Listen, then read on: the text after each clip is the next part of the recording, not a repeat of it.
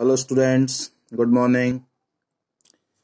Yesterday I taught you the first poem Character of a Happy Life and today I am going to teach you the summary of this poem.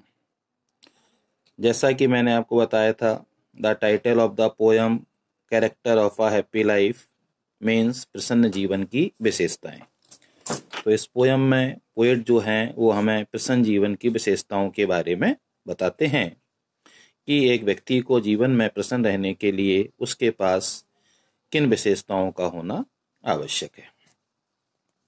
The poem character of a happy life is composed by sir Henry Wotton. Poem character of a happy life sir Henry Wotton द्वारा रचित है। this poem, the poet tells us about some characters of the life of a real happy man इस poem में poet जो है, वो हमें एक वास्तविक प्रसन्न व्यक्ति के जीवन की कुछ विशेषताओं के बारे में बताता है।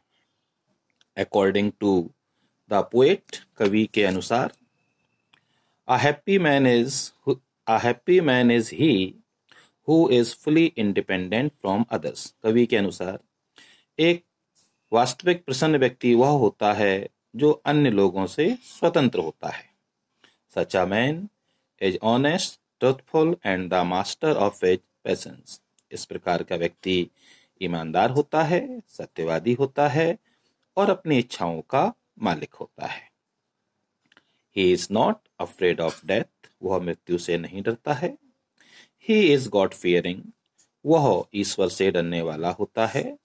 And also passes his time with good books and friends और वो अपना समय अच्छे पुस्तकों या अच्छे मित्रों के साथ व्यतीत करता है, अर्थात वो अपना समय बर्बाद नहीं करता है।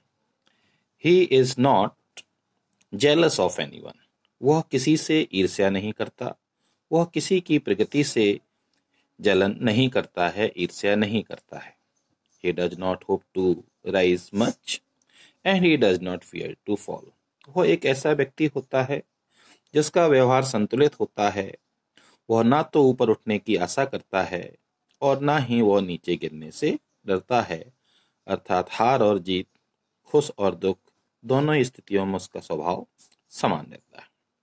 इन this way although he has nothing yet he has everything फिर इस प्रकार हम ये कह सकते हैं यद्यपि उस व्यक्ति के पास सांसारिक संपत्ति के रूप में ज़्यादा कुछ नहीं होता है येट ही हैज़ एवरीथिंग फिर भी उसके पास सब कुछ होता है because he is always happy in life क्योंकि वह जीवन में हमेशा प्रसन्न रहता है।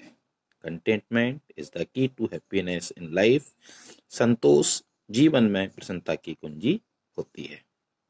तो now the students please learn this learn this summary and uh, note it down in your copy. Goodbye.